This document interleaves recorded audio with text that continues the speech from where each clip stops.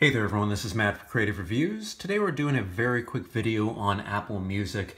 After Apple Music updated along with everything else here with the 9.2 update, there's been a little change on how you'd actually save something for offline listening. Normally you would go to an album here in Apple Music that you would want to get, and you would hit these three little dots here. And under that, it would say something about saving this for offline use and you can listen to it later. But instead now what you have to do is you see this little plus sign here? You'd actually hit that. That actually adds it to your music. So at that point you can listen to this in your music here um, with streaming.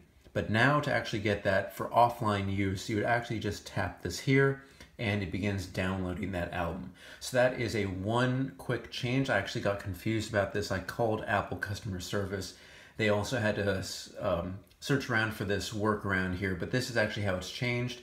Saving an album or a song is no longer in this three little dots. It is right here. Again, if you want to see that, let's go to another album here. You would find the album that you're looking for. You would hit that plus sign that adds it to your music. oops, you would hit that plus sign that adds it to your music, and then you would hit this, and that saves it for offline use. So if you don't have Wi-Fi or cellular, you can then listen to it after the album's been downloaded. But yeah, I'm glad I found that, so I'm sharing this with you. If you have any questions, put it in the comments below or email us at 5149media at gmail.com. Thank you so much for watching. Find us on Facebook, Twitter, Beme, and Instagram. Subscribe to us on Creative Reviews and 5149 Media on YouTube.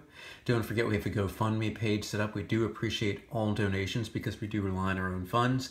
Thanks again for watching. See you guys next time.